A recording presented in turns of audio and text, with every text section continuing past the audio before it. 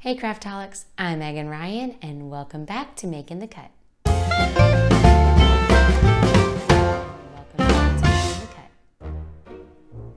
So last week I showed you how to make the cute little gift bag with the scrunchie that I'm gifting my daughter for Halloween. And so today I have another Halloween craft that is so easy and very, very cheap. So we are making little bean bags that spell boo. And these bean bags are actually filled with rice and you can heat them up and they make wonderful hand warmers. So before you go into the comments and wonder, does my daughter have three hands? No, she does not have three hands, but I wanted Boo. And in order to get Boo, I had to have three of them.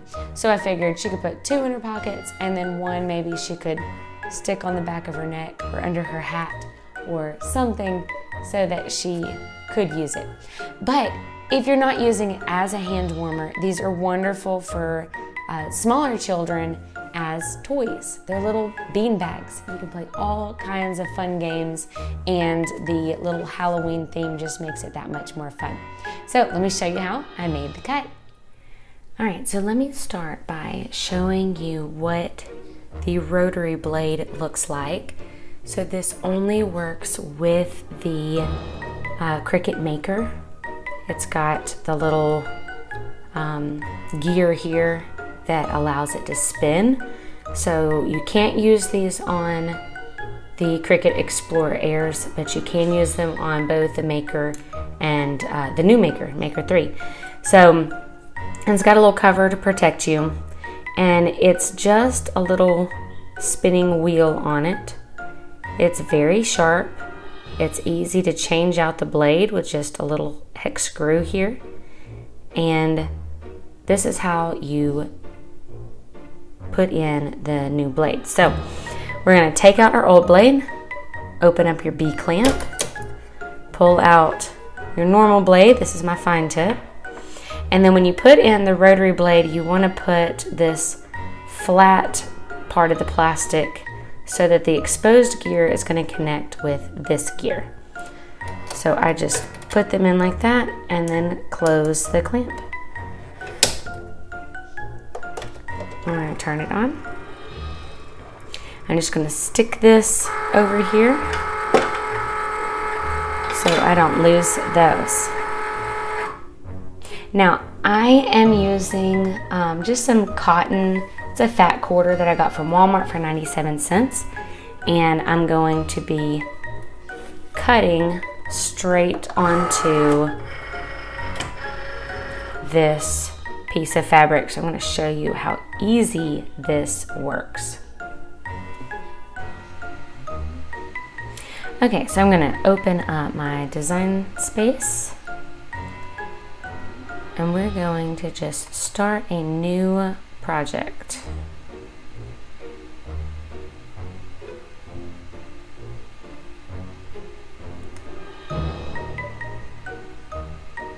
Alright, so I am going to just make a simple text and I just want to type boo.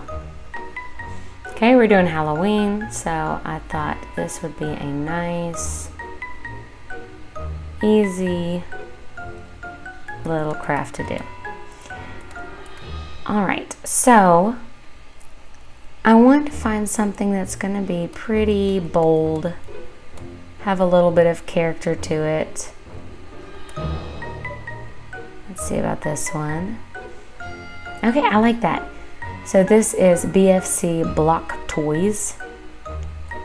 And I want to make it big enough to apply to the hand warmers. So let's go with, make it up to 11 inches. All right, and then I'm going to go to make it. So I am going to be cutting on fabric. So I do not need to mirror my image.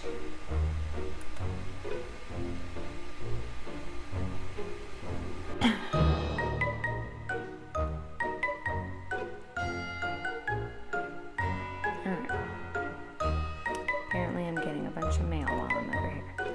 All right, so I am going to choose to use cotton fabric. So I'm gonna go to browse all materials. And then I'm going to select category. I'm using fabric. And I'm gonna say cotton. All right, it is not bonded. We are just doing regular cotton fat quarters. I got these fat quarters for 97 cents. So um, it's a really cheap craft and just a lot of fun to do. So you notice it already says rotary blade. So I've got that loaded and I am ready to press the Cricut button on my Cricut maker.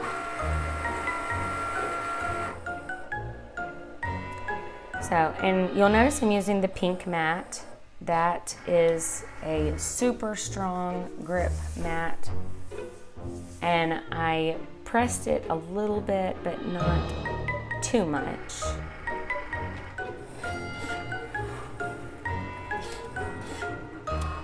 So, and what it does is it just rotates the blade and it makes these super smooth cuts without pulling the fabric. Um, on the Cricut, um, the Cricut Air Explore, um, Explore Air, it likes to grab and um, and drag the fabric and it'll pull it off. So I just didn't like that. So I I prefer the quality that I get with the Cricut Maker on this one. And I'm realizing that I cut my fabric a little too short. But I'm just gonna roll with it. So that's it, it's done. I'm gonna pull it off. You can see how easily that does it. So where I cut my fabric a little too short.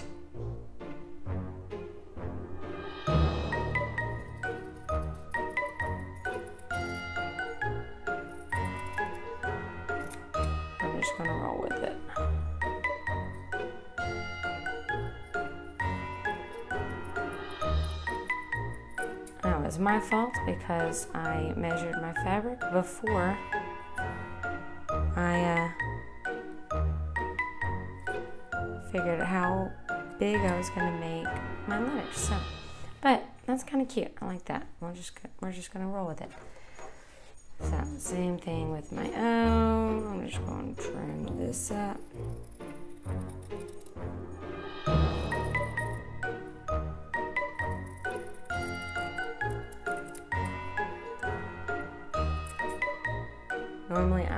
Much more careful on that, but it's all good.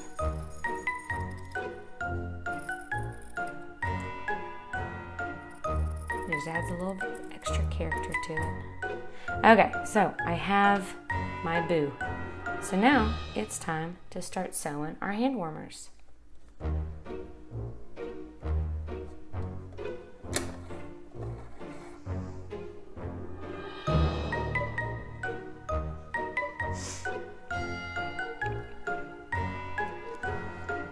Alright, so we're just gonna sew around the edge here.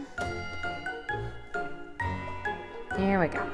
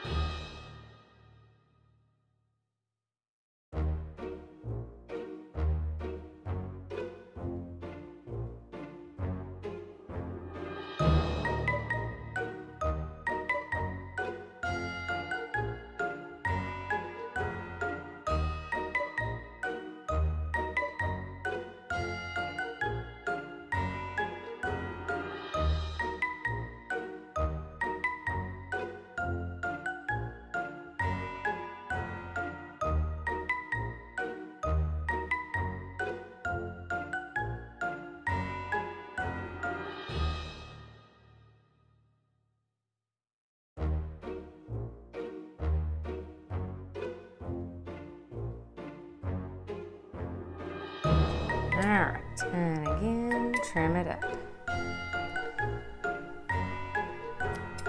So the great thing about this is, since it is Halloween, it doesn't have to be perfect because all the Halloween stuff's kind of different. So, all right, so I have my O. I wanted to start with the O's because I thought that would be easier than starting with the B. So to finish the hand warmer, I'm actually going to put the two pieces together with the pattern on the inside. And then I'm going to sew those, leaving a little gap for uh, filling it with rice.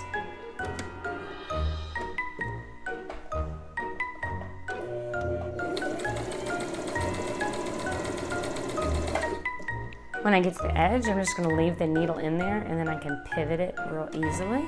And then go down the next side.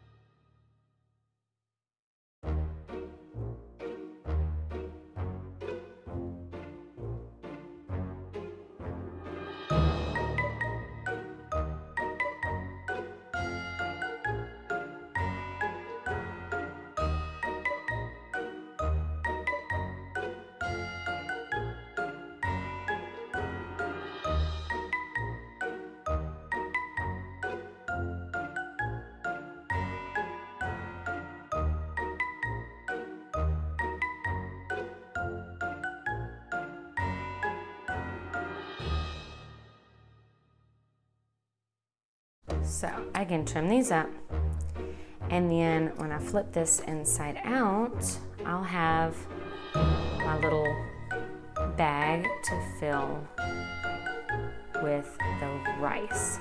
You can also make these with beans. These are so fun if uh, you're doing it for little kids that you can make little ring, or not ring toss, but little bean bags for them. Um, but since I've got a teenager, I wanted hand warmers, but it can also be used as a beanbag. So this particular craft is just so universal and it's so easy and so cheap.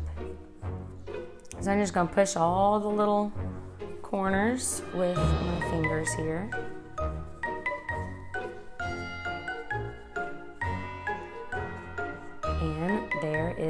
That one.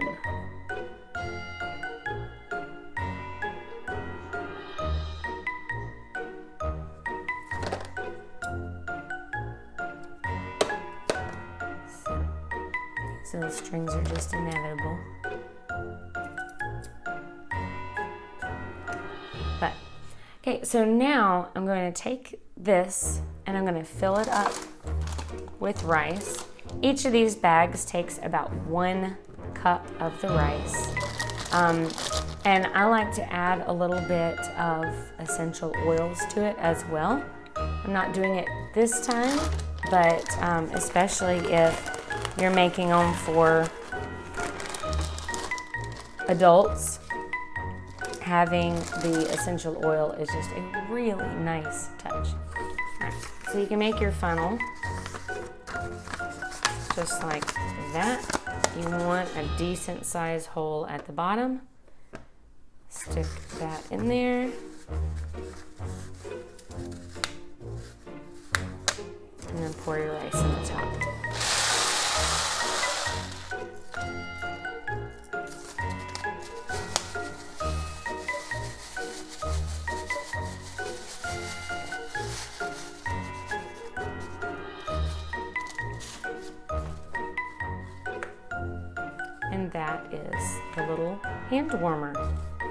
So I'm gonna just hand sew this up at the top and then it is done. And there you have it. We have our little hand warmers. I finished them off with just a quick little stitch up at the top and then that sealed all of that rice in.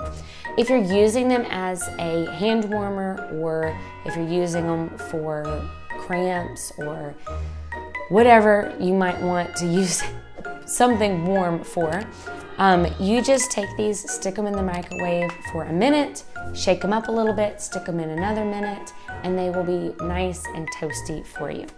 You can stick them in your pockets, under your hats, stick it wherever you need, maybe toss it in your boots if your toes are really cold, and they're wonderful for the colder weather as it comes. So guys, I hope you enjoy this video and keep on liking, subscribing, commenting. It's really helping the channel grow and I really appreciate all the love that y'all have given. So I'll see y'all next time. Keep on making.